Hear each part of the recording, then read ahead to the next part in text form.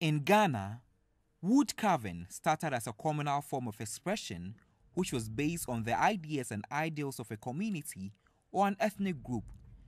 Carving was done under the strict dictates of clan leaders, chiefs, religious leaders, and other opinion leaders in the community. This did not allow for individual carvers to express their ideas and creativity. Nevertheless, carving is now a toast of many artists. This process of carving could be laborious. I'm doing samepa. What How long does it take you for for you to have a smooth feel? Oh, just like uh, three hours. It is then coated with a preferred polish color, either brown or black polish, and then left in the sun to dry.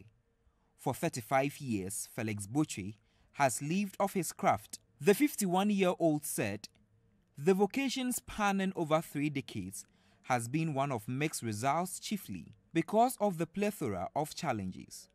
We don't get any help from anywhere.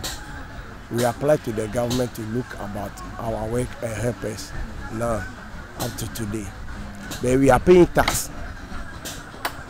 When we need wood, unless we go to bush, North Volta, find wood. When we are coming, the police today are worrying us for the road before we reach here.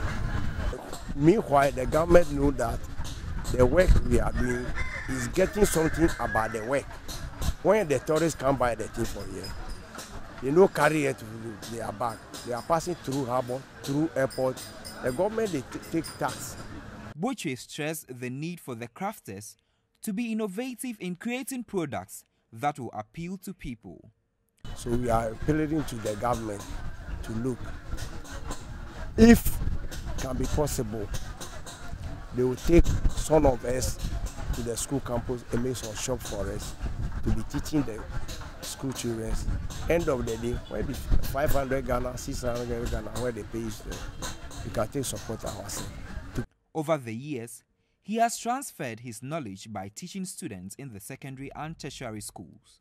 When we apply to come a, a lecturer for the big, big schools, school like university, school like Polytech, and then the junior secondary schools, the first thing they ask that we get qualification.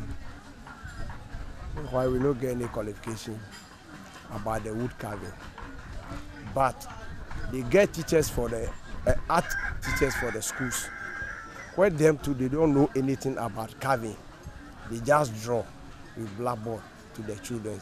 The end of the day, they send them to us to come and make practical. The wood carving industry in Ghana has provided employment for a large number of people. From the felling of the tree to the creative work of designing, you will find carvings such as drums, human figures, animal forms, among others.